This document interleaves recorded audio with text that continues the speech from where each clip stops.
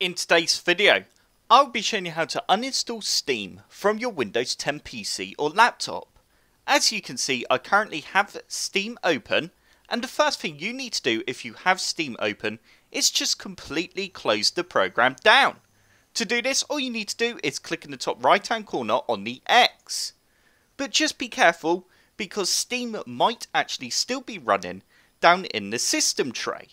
If I go down to the bottom right hand corner of my screen, you can see the Steam icon. I now need to right click on the icon and I then need to click on exit. It will then begin to shut down Steam. And once the icon has disappeared, we can now begin to uninstall the program. So we now need to right click on the start menu icon and you then need to click on apps and features. We now need to click in the search this list box and you now need to type in Steam. You now need to click on Steam and we then need to click on uninstall.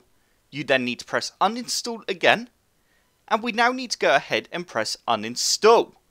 But just keep in mind if you do have any games that are installed in the location of your Steam folder then these will be removed as well.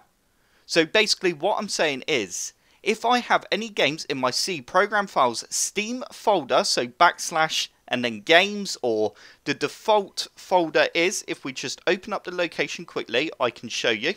If we go to the Steam folder they are normally stored in a app folder Steam apps.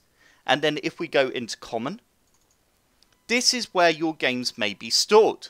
So if you do want to back those games up then go ahead and copy the Steam apps folder by right clicking and going copy and then just paste it in a different location you can always paste it onto your desktop and then that will mean you don't have to download those games again because you can then paste them back into the Steam directory and then Steam will then pick up those games when you go to install them again.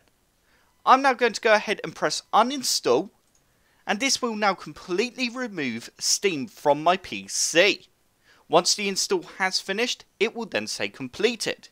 If I now go ahead and press close, and if I now close down the apps and features, you will now see in this location there is no longer Steam. If I go backslash and type in Steam and press enter, it's completely gone. I do recommend you restart your computer once you have uninstalled Steam, and that is how easy it is to uninstall Steam in Windows 10 on your PC or laptop. If this tutorial helped you out, hit the like button below and subscribe for more computer sluggish tutorials.